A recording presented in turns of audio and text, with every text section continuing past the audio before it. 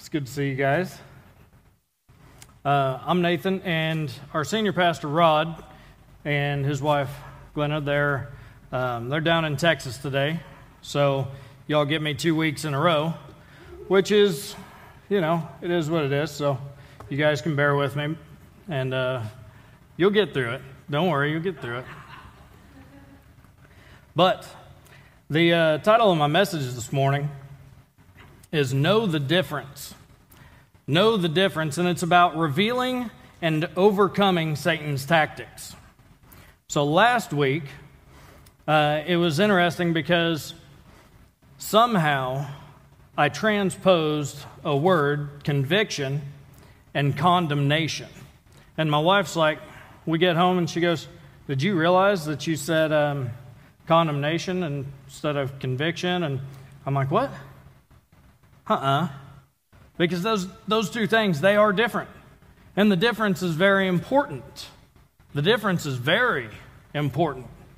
And so I was like, no way, man, surely I didn't do that.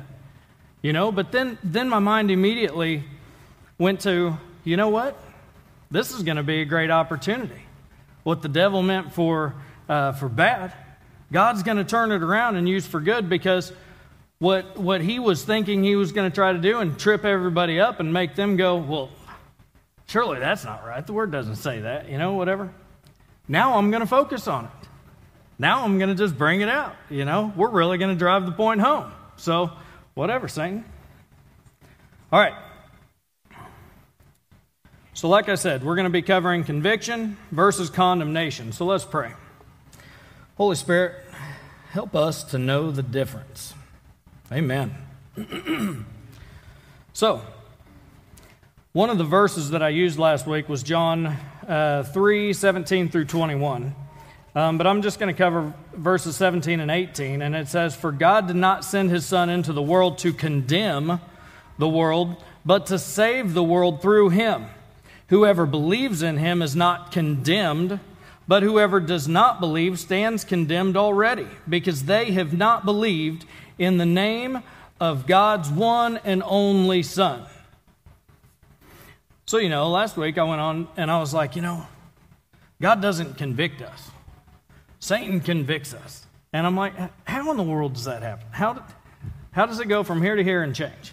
you know what I mean? But let's look at the definitions. We're just going to cover the definitions real quick. Conviction is a formal declaration that someone is guilty of something the verdict of a jury or the decision of a judge in a court of law. That's conviction. Somebody that's guilty of something. Condemnation, the expression of very strong disapproval, the action of condemning someone to a punishment or sentencing them. That's condemnation. Which one sounds more like our God? Someone that's, that lets you know, hey, something needs changed. Which one sounds more like the enemy that's constantly whispering into your ear?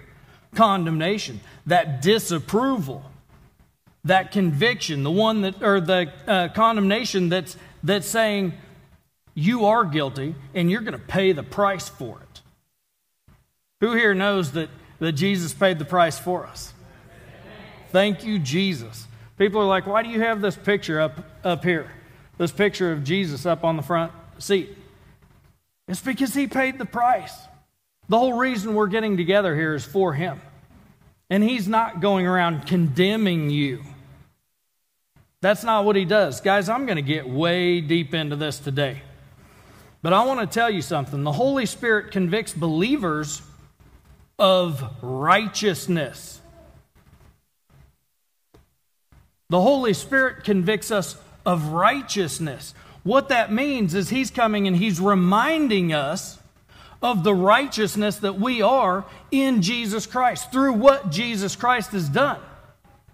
The Holy Spirit doesn't come and convict us of all of these sins. The Holy Spirit doesn't condemn us for sins because that's not His job.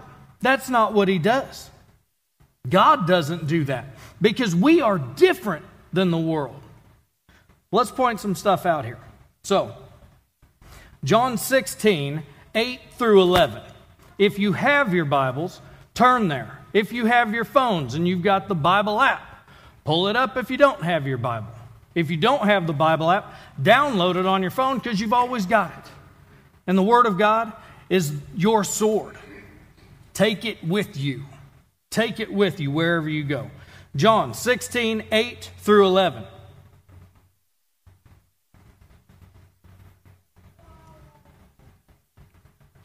Everybody there? Yep. Yeah, yeah. I knew you were. And when He, the Holy Spirit, has come, He will convict the world of sin and of righteousness and of judgment. Of sin, because they do not believe in me. This is Jesus talking. Because they do not believe in me. Of righteousness, because I go to my Father and you see me no more. Of judgment, because the ruler of this world is judged. There's two different people that he's talking to here, two different people groups. One is the world, unbelievers. He's talking about the unbelievers, but he's talking to his disciples, to his believers, people that believe in him. Stay with me here, okay? Hear me out because this truly will set you free. This will set you free. Grasp it, okay? Hold on to it. The Holy Spirit never convicts a believer of his sins. You're going, Briggs. You're out of your mind, dude. That's not truth. That is truth. And I challenge every single one of you in here. Every one of you, I challenge you to find a scripture in the Bible that tells you that the Holy Spirit has come to convict believers of their sins. To convict believers of their sins. Try to find it. If you can, come and chat with me. Come and chat with me. You see, we've been living in this state of, of defeat because of misunderstanding what the Word says because we think that it says one thing. Why do we think that it says that he, that he comes to convict us of our sins? Because he's constantly condemning us. He's constantly trying to speak these lies into our, into our ears, pump it into our brains that, that we're not worthy, that, we have crea- that we've done all these sins, that God won't love us, that God can't love us. Why would God love us? We're constantly hearing him, and we choose who we're going to listen to. And most of the time, whenever we feel that we are these horrible, wretched sinners because we're hearing that all the time, then we don't hear what the Holy Spirit is actually convicting us of, and that is our righteousness in Christ Jesus. That's what he's convicting us of. But we're overhearing, we're hearing Satan louder condemning us of our sins, so we think that, well, that must be the Holy Spirit. It's not. It's not. Read the verse and read the verse in context as well. Please read it in context. So, the Holy Spirit actually is in us to convict us of our righteousness in Christ Jesus. That's why he's literally in us. That's why he's in us. verse says, The ministry of the Spirit to unbelievers is that of conviction. Specifically, he uses their unbelief to prove the gravity of sin in verse 9, the triumphant work of Christ to prove the availability of righteousness. Verse 10, it says, In the defeat of Satan to prove that the solemn um, certainty of judgment. This whole, this whole verse that I just read, each different each different verse has a totally different, like, it's, he's laying it out and showing us what that is. He's showing us what he's meaning and what he's talking about here. So even when you fail, the Holy Spirit is with us to remind us that the blood of Jesus has made you totally forgiven and righteous. The blood of Jesus did that. We didn't do that. I didn't do it for myself. You didn't do it for yourself. You can't do it for yourself. Why do we want to hold on to this stuff? Why do we want to feel like that we have to work to be, to be made righteous, to be made holy, to earn our way into heaven? It's simply stinking impossible. It's impossible. That's why he died on the cross for us. That's the whole point. Remember who the Holy Spirit is. Remember who the Holy Spirit is. Remember what he does. He's our helper. He helps us. Jesus says, It's better that I go so that the helper will come.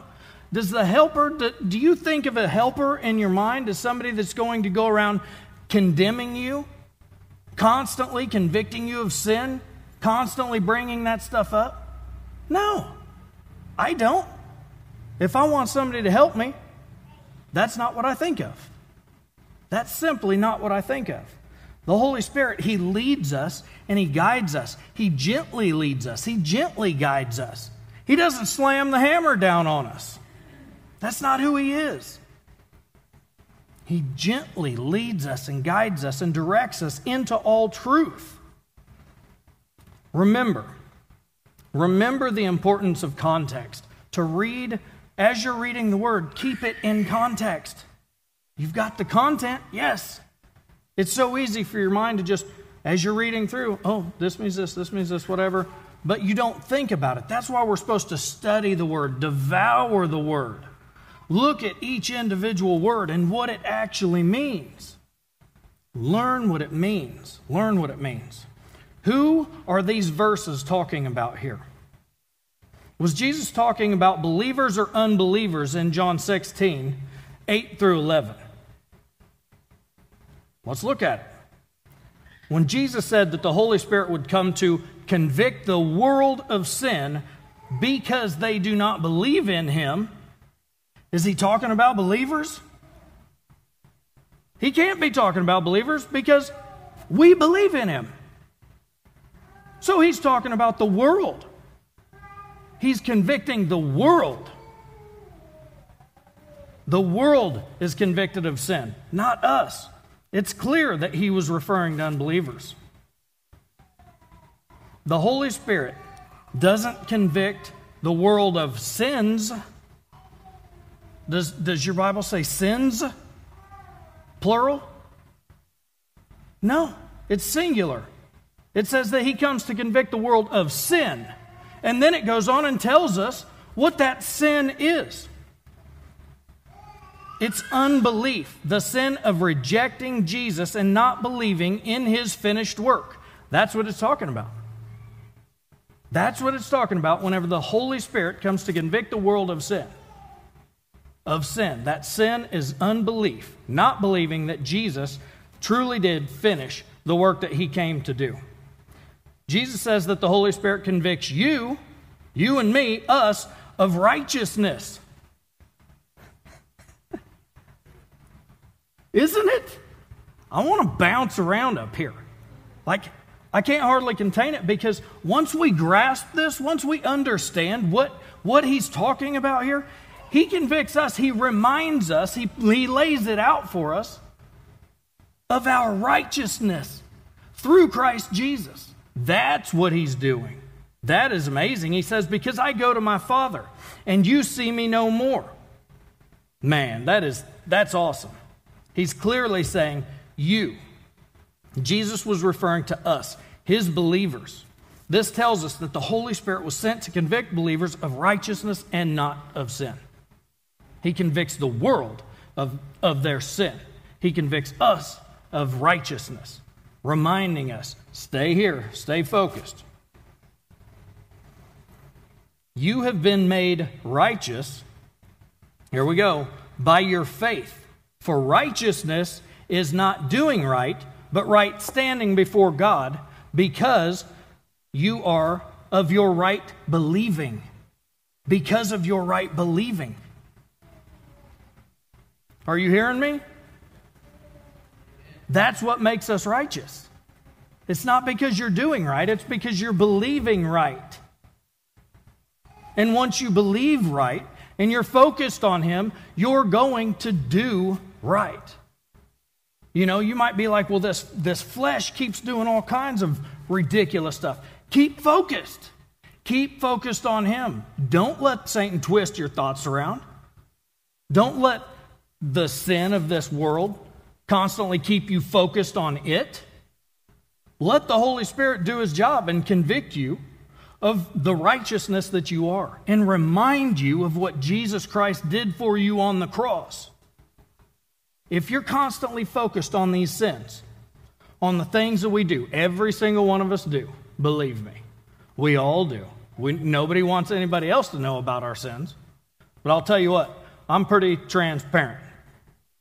I, you hang out with me long enough, you're going to find out I'm not perfect. You know what? But I'm not going to sit there and focus on it. I'm going to focus on Him, and the more that I do, the more that I'm going to look like Him.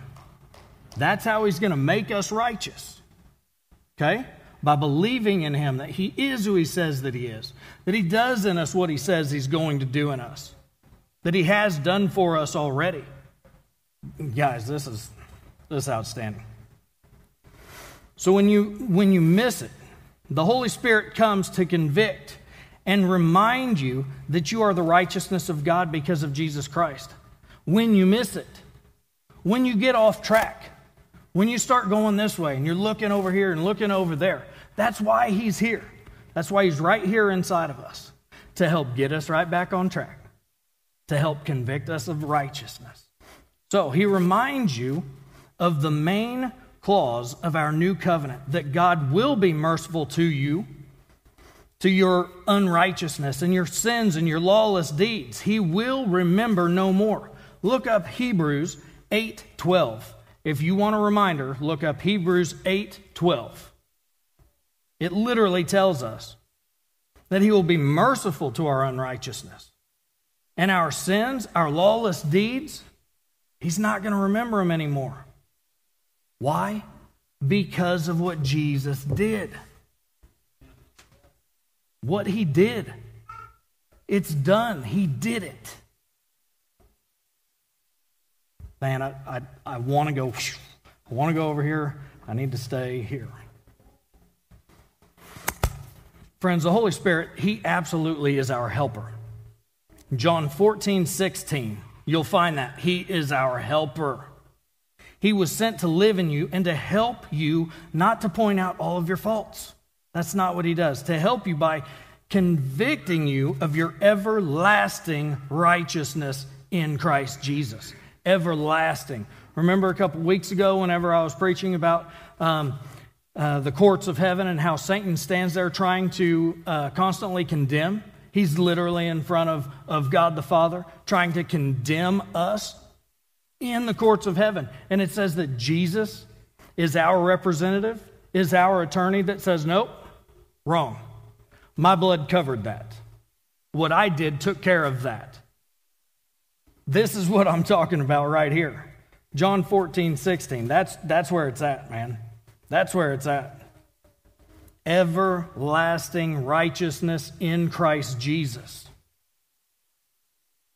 And some of you are probably thinking, Briggs, you think you can't lose your salvation and all this stuff? And man, that we can go on and on with that.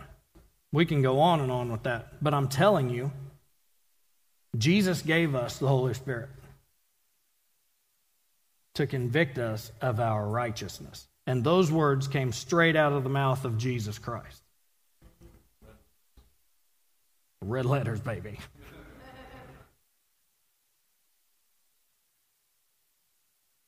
You can't deny it.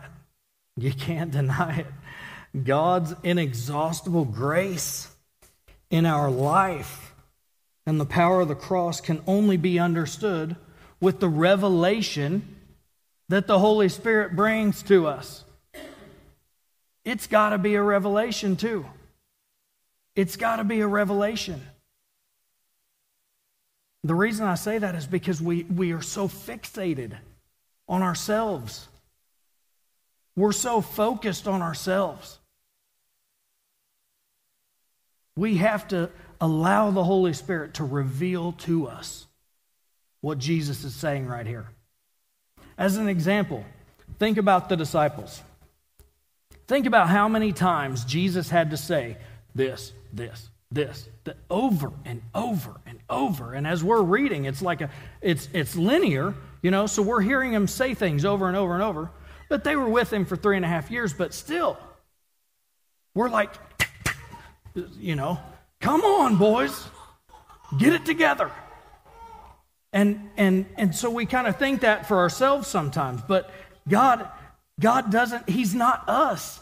He doesn't view things the way we do. Think about our children and the things that, that our children do sometimes, and we're like, goodness sakes, how many times do I have to tell you?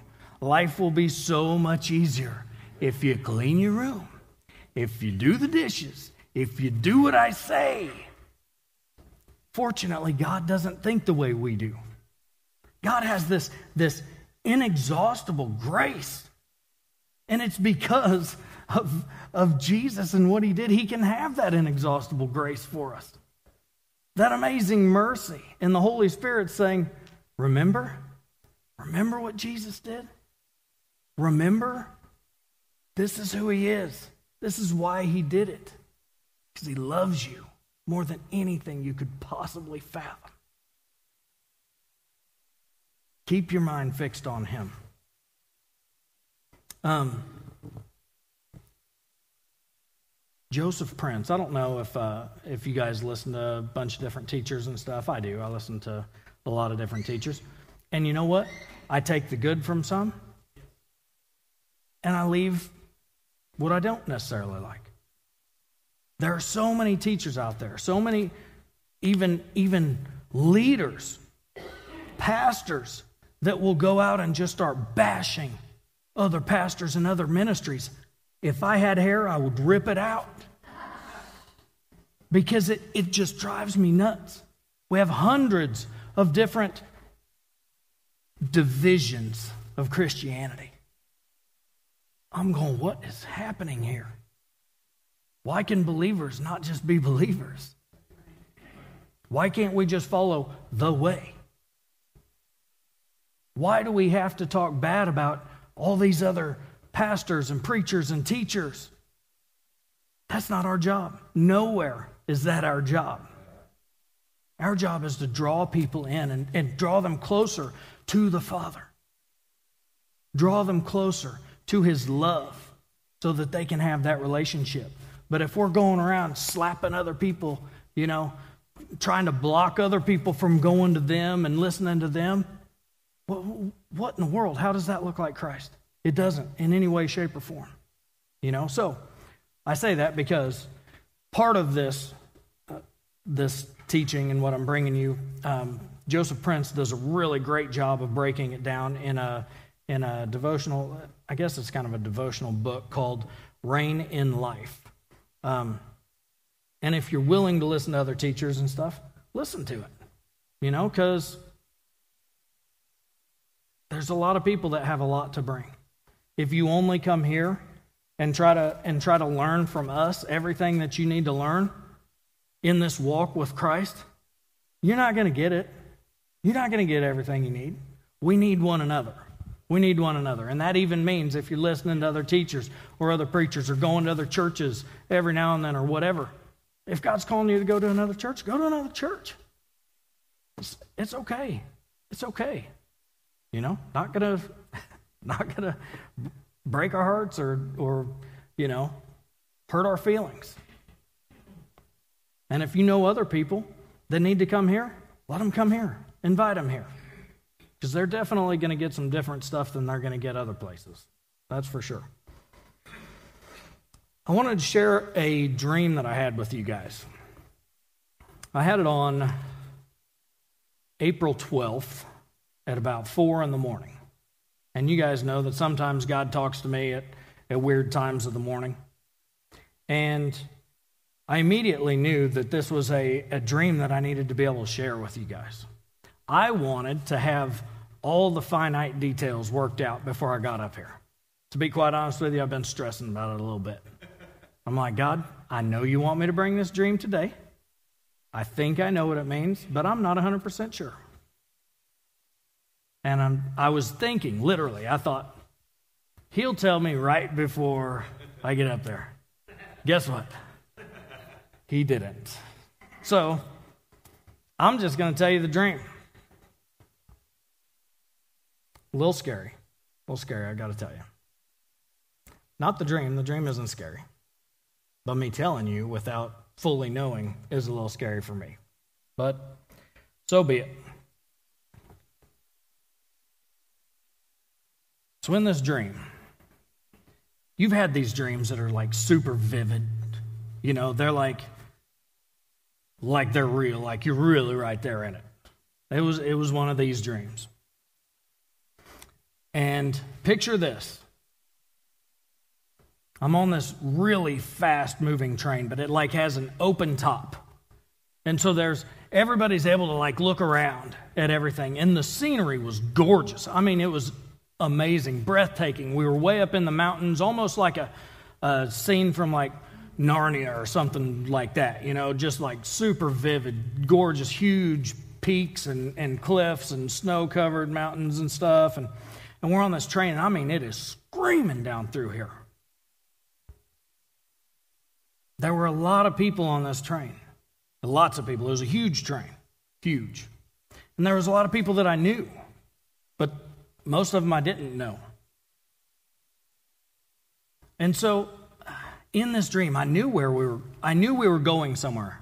I can't tell you for 100% sure where it was, but I knew where we were going at the time. And I had a peace about it. Like I knew this is exactly where we're supposed to be. We're supposed to be right here, right now.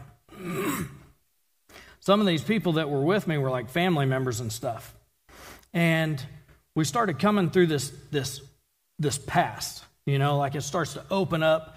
And then imagine this this giant bridge, you know, that has the big the big round openings. And I mean, we're just screaming through there and the smoke's coming up off the top and, and I'm looking around and then way down, way down, hundreds of feet down, is this gorgeous blue water, like just this amazing blue water.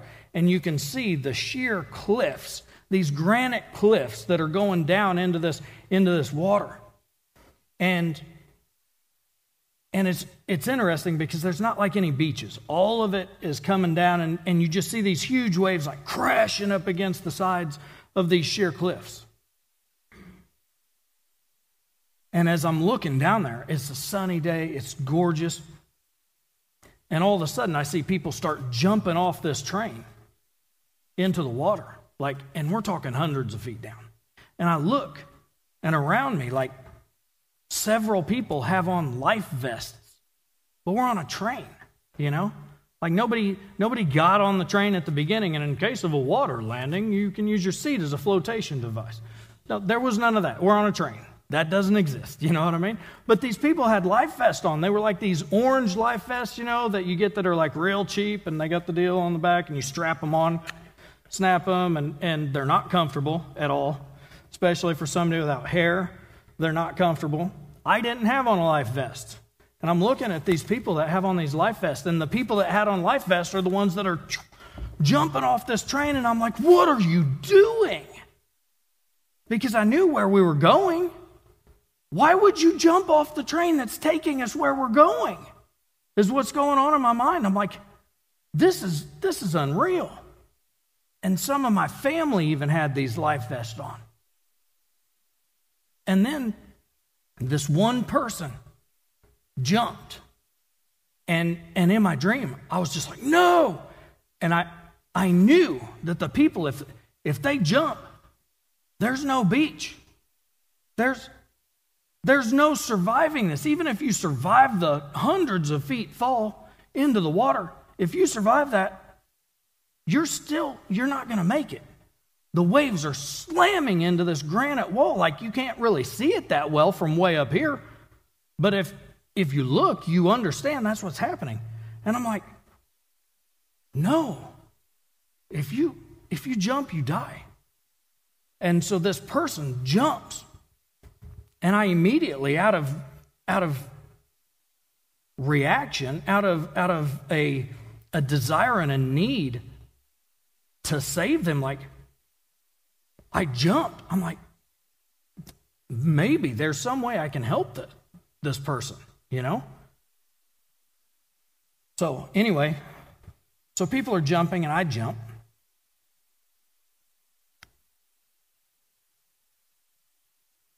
And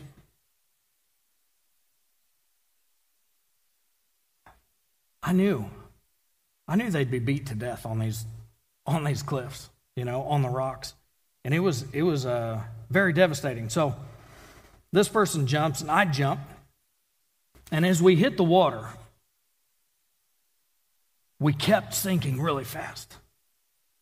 It was it was not like hitting normal water. You know, whenever you normally hit the water, you go down a little bit, but your body's buoyant, you know, so you start to you start to float back up. And we're sinking really fast. And I remember looking up and people are hitting the water. And it looked like, you know, have you ever seen in a movie or something where somebody's under the water and, and somebody's up there shooting and you see these bullets? Choo, choo, choo, choo. That's what it looked like as I'm looking up. And we just kept sinking really fast. Even the people that had on these life vests that are supposed to whoop, pull them right back up, didn't make any difference. They were sinking as fast as I was, and I didn't have one. And we're sinking, like way down under the water, totally, totally farther than normal. And these people, they put their faith in these life vests that were designed to help save them whenever they went into water, but they were useless. They weren't doing anything for them. Many, many of the people that had these life vests on, they were extremely frantic, and many of them were starting to drown under the water, not being able to make it back up to the top. And I was just like, what is going on, man? Why are these people doing this? I was pretty certain looking up. I remember I was about 75 feet under the water, and I remember thinking, if I swim real hard right now, I might be able to make it to the top. I might be able to survive this deal. But then I look over, and maybe from me to that back wall was the person that I jumped off the train for. And this person, now, it's not, it's not a actual person, but the face of this person looked like all three of my daughters in one person. That's the only, the only way that I can describe this person. It, she very much resembled all three of my daughters in one person. Very odd. Because all three of my daughters look totally different. Totally different. So I was looking at this one, And I realized that where she was, she was up next to the, next to the rock cliff. She was about 75 feet down under the water, and she couldn't go up or down. Like she's stuck there, moving, trying to, trying to move, but she couldn't go up or down. Remember, I'm 75 feet under the water. I'm a decent swimmer, but nevertheless, I knew if I start swimming hard, I could probably make it to the top. But in my mind, I see her and she's stuck. So I immediately swam to her as fast and as hard as I could. And I get to her and I'm trying to evaluate the situation. Why is she not able to go up or down? Well, that little strap that you bring around, you snap, it was long and it got caught in a little crack in the rock. So when she was going up or down, whatever the force was, stuck that thing in the rock. And so I thought, I've got to break her free. If I break her free, I can at least shove her to the top as hard as I possibly can, and she might be able to make it. She's got fear and terror and, and disbelief in her, in her mind. But the one thing that she was putting her hope and her faith and her trust in to save her life, this life vest, was the one thing that was holding her under the water so that she couldn't get free. That one thing was holding her under the water. So I grab it and I'm pulling on it and I'm trying to get it off.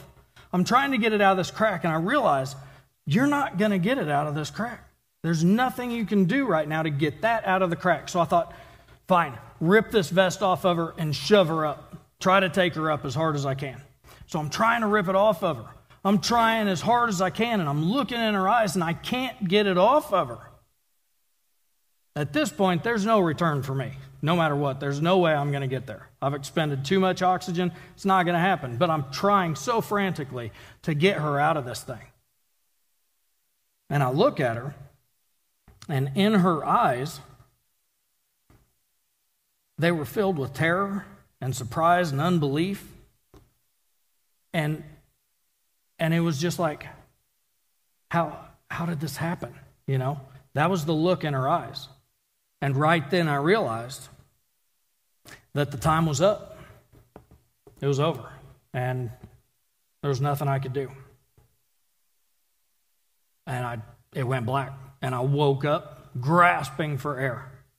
Like that whole, just like, what in the world?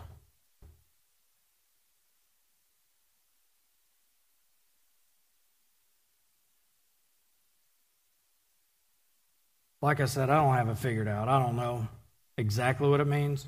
But when I have these kinds of dreams, whenever I have these dreams that, that God tells me this is from me, um, I just, I'm obedient. I try to write it down immediately. And there's been some other, there's been prophecies about Church on the Rock and how God has said that, that He is the train that's coming through literally a prophecy about a train coming through. You can get on the train, you can get out of the way and watch it pass by, or you can get run over by the train. But those are your options. We were on this train, so I do feel the, the prophetic connection there. And I, I think that it's interesting that the people were already on the train and chose to jump off the train because something looked like what they wanted, like what they felt like was going to be great and awesome for them. They were even prepared for it with a life jacket. But then when they get there, they realize it's not going to help. And this isn't going to turn out like you think it's going to. It's not going to look like what you think it's going to look like. God has us where He wants us, He's taking us where He wants us. And if you jump off, things aren't going to end up like you think they're going to end up. It may look great. The free fall may be beautiful. Believe me, I love free fall and I love skydiving, all that stuff, but it's it's not going to end up right. You know, it's going to lead to death and destruction. And what you think, that little safety blanket that you're holding on to, hoping and praying that it does its job, isn't going to do its job. And you're going to die because you separated yourself from what God truly has for you.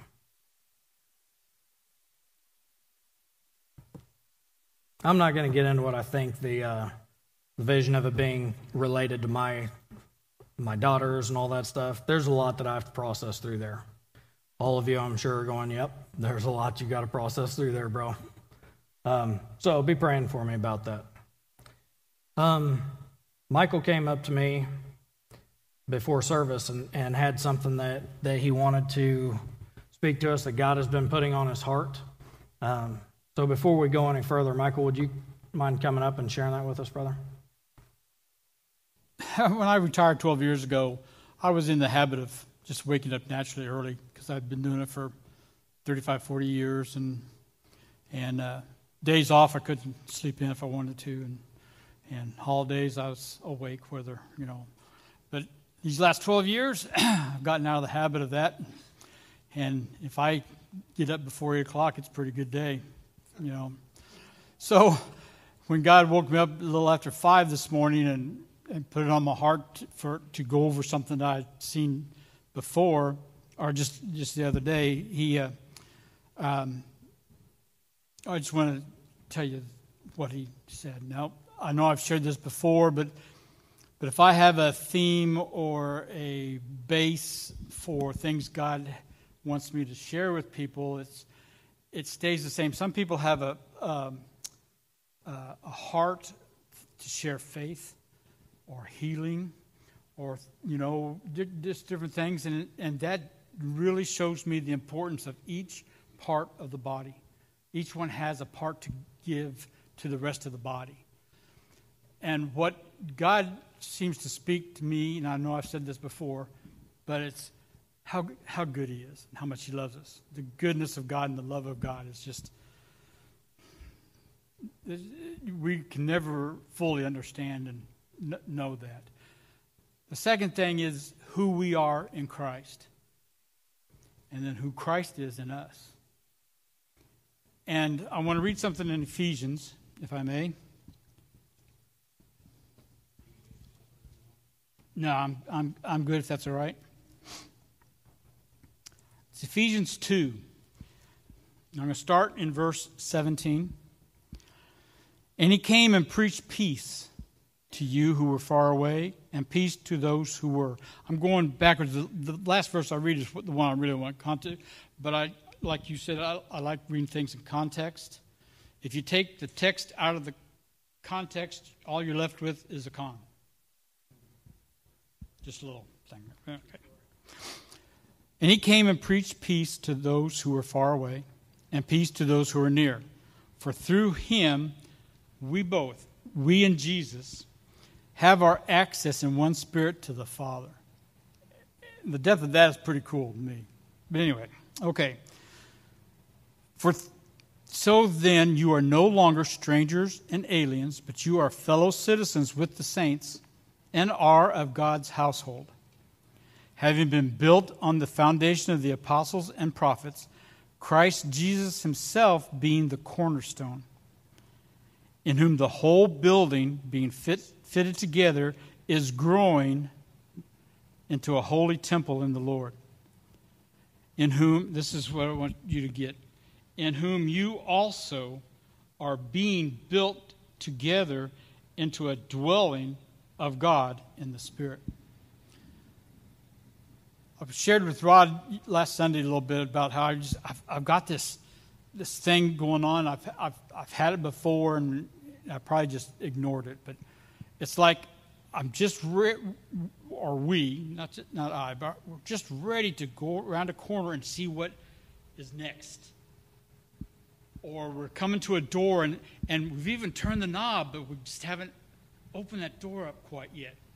You follow where, where I'm going? It's just like there's not an anticipation and expectancy of there's something coming on. And Rod's been, been, been encouraging us to pray for a, a new revival and, a, and, and signs and wonders. And, I, and, and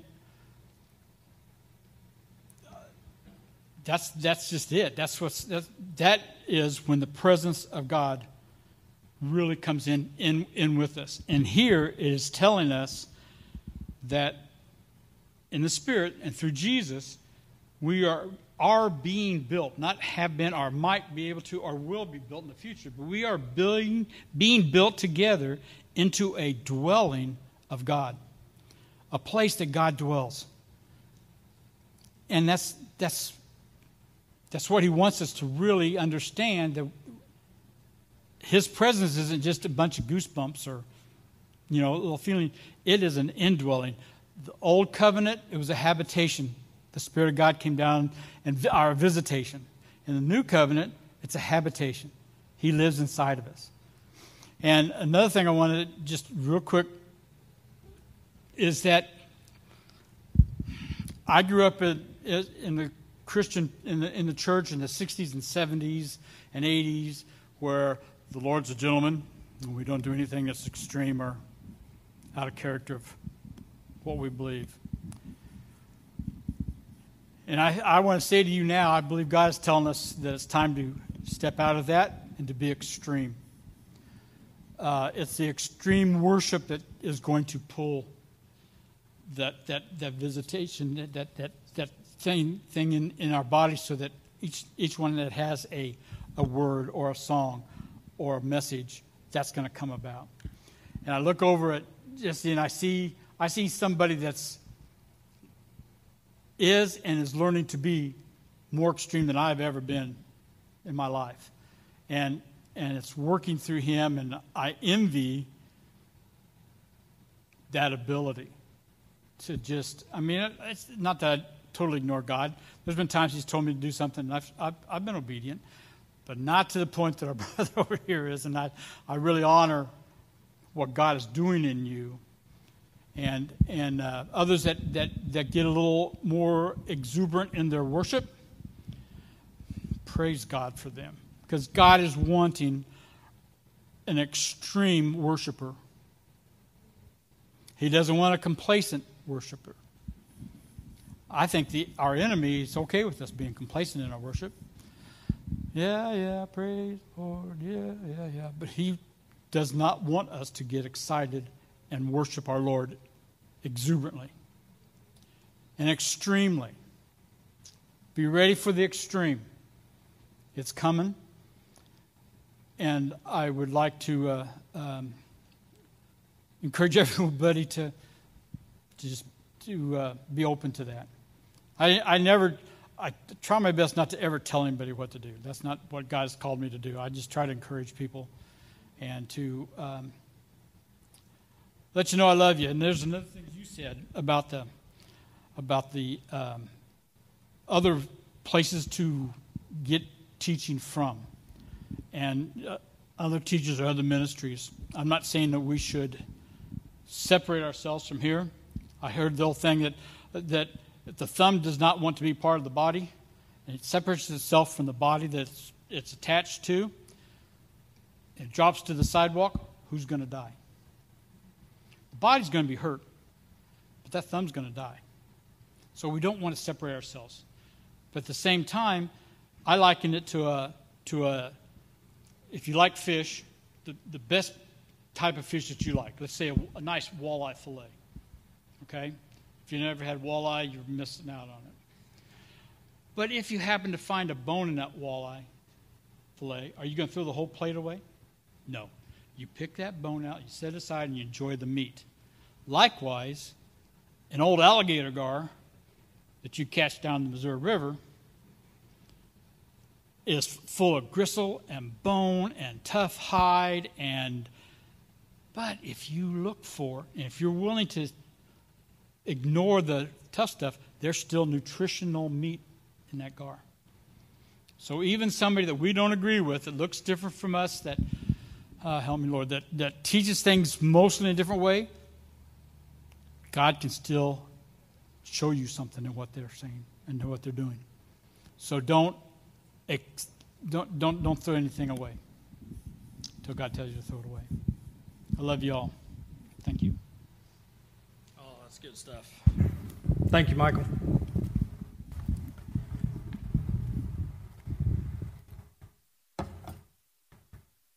I love how the Holy Spirit allows us to each fulfill different areas. You know, and and just because God didn't give me the interpretation of that dream, I just found out that God did give one of you the interpretation of the dream. And I love that we have people that are that are bold enough to get up here and, and share the word, share what God has has spoken to them. You know, and and Michael, he's kind of hard on himself, but that dude does. He's very obedient. He does do what God tells him to do, and uh, sometimes what God tells us to do isn't going to look like what He tells everybody else to do, right? Because I'm not you, you're not me. You're not that person. That person isn't you, whatever. You know, but God calls us each to be obedient to what He's telling you to do. And so, uh, Jesse, would you come on up and share that, uh, the revelation that God gave you? Thank you, thank you. Bill, you got him? Hello, hello. Love what you said. Um, but what's really what, what I like to wrap my head around um, in the 60s, 70s, and 80s, the definition of extreme is what's going on now. But really, it's not extreme Christianity; it's normal Christianity because we get a chance to to get pushed and moved and go. So when he was saying about extreme Christianity, we can all be extreme Christians because what in your head is extreme? Talking to that person at the gas pump, that seems extreme go ahead and do it. There's an idea that God's going to give you off of what you just said. That's extreme. That sounds extreme. Extreme to me is just a little bit different what extreme is to other people, but my extreme started as your extreme when I started. So I just want to encourage you in that big time because my extreme was very small. Now there's nothing that I, I don't think that I would ever go and do. So you can all get to that point, and you guys are at that point. You just have to step and do it. Um, I love dreams. Dreams are super wonderful, super, super wonderful. Um, and I feel like I have an interpretation for Nathan's dream. I could feel like I could just see it in my head uh, when you were doing it. So take it or leave it, put it on a shelf, take what you want. There's, uh, like he was saying about the alligator guy, I love it. There's uh, something I say in my head is there is 10, 10 things about somebody, and maybe only one of them's good let's let's draw out that one thing. Let's not focus on nine other things because God's working on those nine other things. And if we can pull out that one thing that is good, then there's going to be two things that are good, then three things, and then we get to celebrate because now there's four things that are good about that person. So just wanted to touch on that again. Um, okay, so in in this dream, to me, um, the train represented the ministry. Um, and then when you said that Church of the Rock had something with trains, I've heard that again, but I forgot it while I was sitting there. So praise God, that's confirmation that it's on the right track. So the train is moving fast, just and it's on this track. And when a train is on a track, it's going to where that track is. So we're on track with God. We're in it, we're going. And I love that the roof is open because you said it was beautiful, right? You could see the mountains, the springs, the stars, the everything that's beautiful. God is giving us glimpses of that. We're not in a train with the top covered over and we can only peek out these windows. No, it's full transparency. God is saying, I'm showing you my glory. And, and people who are focused up here, they're not going to know that there's a spot to jump off at you know? Because if we're supposed to look at him and point at him and point at his glory, we should be so fixated that of what's above, not below. So somehow in this dream, people knew that there was a bridge coming up, and to me what a bridge means is a transition from one side to the other. So in Church of the Rocks history, I don't know, you know, there's been transitions in this church where people have put on these life i don't want to get into that part but people have jumped off this train you know? And people here are like what are you doing? Are you serious like you know there could be um, leadership it could be just visitors it could be somebody that's uh, walking really closely with the lord and then they're not going anymore. So um, that could also um, be it. But what i found interesting was you have a life jacket on in a train you know? Makes no sense at all. What are you going to do? Like is that really going to save you so that's that's and that's something too was people were putting on things that didn't make sense. So sometimes we have people in our life where we're looking at them and you're like, "What are you doing? Like you're wearing a lot." Like you might as well be wearing that life jacket on a plane. Like you should, you should have a parachute on, not a life jacket. So like that makes absolute sense. And they're they're big they're cheap they're orange they're uncomfortable. Because sometimes when people are living in that sin or choosing that direction in their life they're choosing to be uncomfortable. And like it, and choosing to make no sense at all. And it just and it blows our minds when we can see somebody in that atmosphere. So that makes me realize that we're we have the ability god's giving us that ability to see people who are putting on the life jackets. We can see that so once we know that they're putting on their life jackets, we know what's next. They're jumping off the dang train. They're jumping off into a cliff. And you saw that it was a sheer cliff. There was no way up and there was no way out. And therefore, if they're jumping, it makes no sense. And I love that, like, your, your need to jump after them, too. It's just like, I'll do whatever it takes. I'll jump off here after him, anyways. And it's like, I think God was giving you a glimpse of what was going on when you jump in the water, what happens when people are jumping in the water. Because us, where'd they go? You know, we're not, we're not seeing, we're not, we're not jumping off this train. We're not seeing what they're seeing. We're not feeling what they're feeling.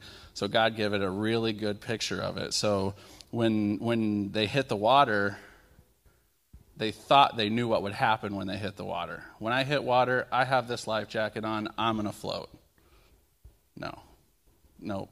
Because the devil steal, kill, destroy, deceive. That's what he does. He says, when you hit this water, you'll float. Don't worry, you got this life jacket on. It's the best life jacket ever made. No, it's not. It's a cheap piece of crap. And you're going to be sinking to the bottom faster than you ever have because it's not a normal situation. It's not what you think it is. Oh, it's just water. Oh, no, it's different. You're getting off the train. This train is the only thing that's keeping you safe because you have the fellowship, you have the, the camaraderie, you have Jesus, you have, you have the Holy Spirit, you have everything that's on this train. So when Nathan was in the water, he knew that only 75 feet up he'd be okay. And in this water, what he's lacking is air, and that air is Jesus. So what these people are lacking when they're in this water is Jesus. And if I can just get 75 feet up, I'm going to be okay. So Nathan would have to go into self preservation to go that 75 feet up. But what did he do? He saw this person, and this person had three faces of his daughter, which means that, oh, if it was just one face, you know, and you had to pick and choose, well, I like this one better, you know, whatever. It's just like they're, they're all the same. So therefore, God put them all the same into one thing. Because when we look at a lost individual, we need to see our kids. We need to see those people merged together to make us have a heart for them because that's what God sees. When He sees this person, He doesn't just see that person, He sees, oh, that's my daughter, that's my son, that's my, that's my beloved, that's who I love. I need to stop, I need to help. I can make it, but I don't want to make it without them. So that's really good. So what do we do? We stop what we're doing, even though we know we're almost out of air, we go for that one person that we jumped off for. And when you're there, this person has got themselves stuck in this seemingly small thing and this seemingly like that's just attached to the life jacket. You can't pull it out. You can't pull it out. Guess what? When you're ministering to somebody, you can't pull it out. You cannot. Because when they put that jacket on, they have to take it off or else they're not going to survive. You can try you all you want, you can yell, you can scream, you can cry, but they have to have a revelation of Christ. They have to say, okay, this is not me. Shh, it's off. And when that help is there, that help can get them up that 75 feet to fresh air. How can we get them to take off their own jackets? You know what I mean? That's all I had. Yeah, cool. I hope that helped. I don't know. That's just what I saw on it. Hello? There we go. Uh, so, yeah, I feel like I have a little bit to add to that. And when Nathan shared the dream with me um, at home the morning after he had it, uh, immediately I felt what God was saying to him personally about um, the girl that he couldn't save. But um, but this morning, I um, I mean, I love what God was speaking to Jesse through the dream, and it's so powerful. And I was sitting there, and I'm like, Lord, I felt like you were showing me something a little bit different. Is it wrong? Uh, you know, and um, I just felt like He was reminding me of His Word you know, and how it's powerful and how it's multifaceted and how we can read one scripture at one point in our life and he can speak one thing to us and then 5 years later we can read it again and he speaks something totally different to us. And so so this is the other thing I felt like he was speaking through the stream. Um, I felt like he was showing me that um, the life jackets are, as believers, even, and even the lost, it's our comforts that we trust in, like money, like our retirement, like our jobs, like our house, our car, our spouse, our friendships, those things in our life that make us feel warm and fuzzy and comfortable, and like, if I have this, I'm good. And it's not enough. And it will never be enough. And when we choose to look to it as the source, it's going to drag us down. And I felt like in the train, you know, was God's purpose and will and his destination for us. We're, we're riding the journey of life with him. He is the journey. He's the journey. And we're always tempted to allow other things to weasel their way and take precedence over him. And the enemy's always coming in and saying, This is going to be better. This is going to be greater. This is going to bring more. This is going to bring you peace. This is where you, this is where you want to be, you know. And the people jumping and jumping in the water, um, kind of like Nathan was saying with the girl, like she had the look on her face, like this is not what I thought it was going to be. You know, like confusion, like like she was completely confident that she knew what it was going to be. And the enemy can be so deceiving and convincing that that that thing, that resource is our source. It should be our source. But our but the only source is the Lord, is Jesus. He is the only source. And I just think about that scripture in Proverbs where it says trust in the Lord with all your heart don't rely on or lean on your own understanding, but in all your ways acknowledge Him, and He will direct your path. And so I just feel like the Lord this morning is wanting to say, and I really, I feel like this applies to all of us, but I really feel like this is something for the teens, especially the young people.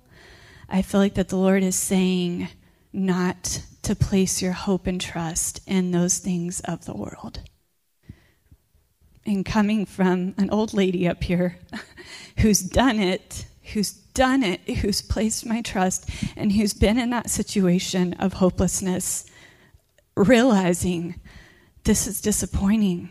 This is not what I thought it was going to be. This isn't giving me the joy that, that everything around me told me it was going to give me. He wants to show you that He's the only thing that can fill that hole. He's the only thing that can heal that wound. Only Him. And He's just saying, Look to me. Don't look to the things that the world is saying. This is great. This is fun. This is awesome. This is going to give you everything you ever wanted because that's where we're left stuck and hopeless. And like Jesse was saying, Jesus is the oxygen. He's the oxygen. And even though Nathan, Nathan couldn't even save that person, even though he had a heart to, he wasn't even enough. But there is one that's enough. And it's Jesus. He's the one that can breathe the breath of life when no one else can. So, yeah. I've got other stuff, but um, I don't think I'm supposed to go to it. Maybe next time. You know, oftentimes we uh,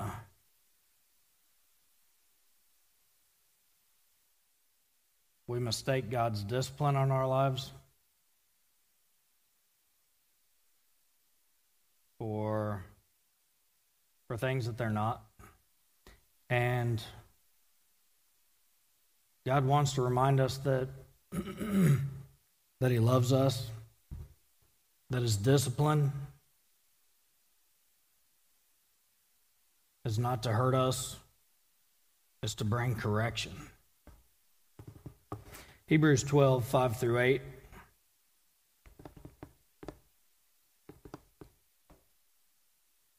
says, And have you forgotten the encouraging words God spoke to you as his children? He said, My child, don't make light of the Lord's discipline and don't give up when he corrects you. For the Lord disciplines those he loves, and he punishes each one he accepts as his child. As you endured this divine discipline, remember that God is treating you literally as his own children. Whoever heard of a child who is never disciplined by their father. If God doesn't discipline you, as he does all of his children, it means that you are illegitimate and not really his children at all. I want to talk to you a little bit about this subject for just one quick second. Because I feel like that there's there's maybe people that have have viewed God as their own earthly father whenever their own earthly father isn't a good father, who doesn't truly treat you the way that our heavenly father treats you, but you have this vision, you have this perception that that's how your heavenly father is. Guys, that's not the case. It's not the case. If you view your Father, your heavenly Father, God the Father, the creator of everything, and you think that that he is just like your earthly father, and that's why you can't accept love from him, and you can't accept um, correction from him, and you can't connect with him. Guys, I want to tell you, he's not like your earthly father. Even if you've had the best earthly father that's ever existed, that best earthly father, that dad, that, that figure that you love so much, he pales in comparison to the, to the true love of our Heavenly Father. Pales in comparison. No matter if he's the best earthly father or the worst earthly father the Heavenly Father loves you so much, and His correction isn't to beat you down. It's not to, to harm you. It's to discipline you so that you change your, your actions. To become more like Him. The Bible talks about chastening. It talks about instruction, it talks about chastisement. All of these different things, they're, they're made for education purposes, for training purposes. Disciplinary correction is what it is. It's to give us instruction. But listen to this it's to nurture us. To nurture us. I know that can be hard to, to wrap our minds around sometimes. There were times where I got disciplined as a child, and I'm like, I'm never going to do that to my kids.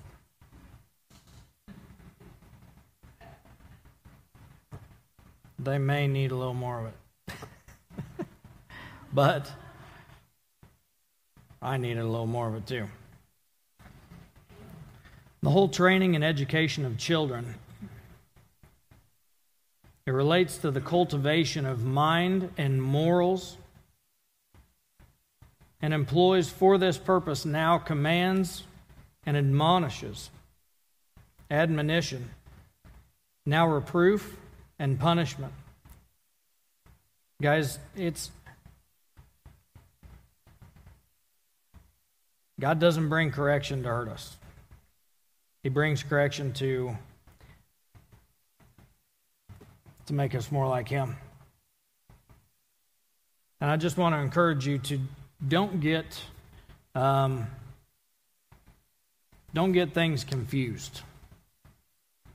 It's okay to go through correction from God because it's going to bring forth things that are truly going to help you. I just really feel like that that a lot of us struggle with having the proper perception of, of who God is and and especially whenever it relates to Him as our Father. So I ask you guys to, to be praying about that. Ask God to give you a true revelation of who He is, especially as a Father. Now, some of you may be thinking, this is an interesting service today.